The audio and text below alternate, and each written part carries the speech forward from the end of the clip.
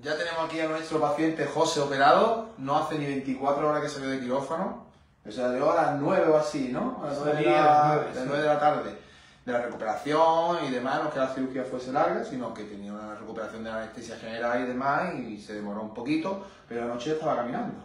Sí, cosa que me llamó la atención. Primero, el miedo que tenía a empezar a andar a las pocas horas de operarme, ¿no? Claro. Pero, mm, bueno, hay un dato que salí con la muleta. Y cuando me di cuenta, digo, esto no, No vale para nada. no para el- nada. el- el- Y me puse a andar a las 12 de la noche aquí en la habitación y en la entrada y tal. ¿Y de dolor? Entonces, mm, dolor, ni- dolor ninguno. Eh, Cero. lumbar un poquito, bueno, no de la herida. No, no, no sentí nada. Tampoco. No sentí nada. Y esta mañana concretamente también me he dado un paseo por aquí durante lo menos 10 minutos, un cuarto de hora.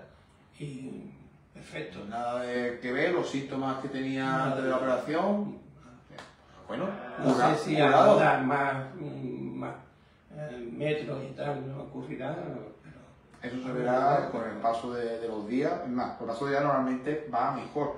Porque la inflamación que tiene ahora también genera una presión y demás. Y esa- esa- eso se irá desinflamando con el paso de, los- de las horas y de los días. Irá mejor, los nervios tendrán sus conexiones como deben de Sí. tener, recuperará una musculatura que tiene un poco atrofiada y todo irá mejor. Pues bien. Así como normalmente van las cosas. Os lo agradezco muchísimo. Muchas gracias. Un fuerte abrazo, ¿vale? Muchas gracias. Y gracias por la confianza y Sí, sí. nos veremos en los siguientes vídeos. Muchísimas gracias a vosotros también. Además ha salido fenomenal, o sea yo lo recomiendo. Muchas gracias, José.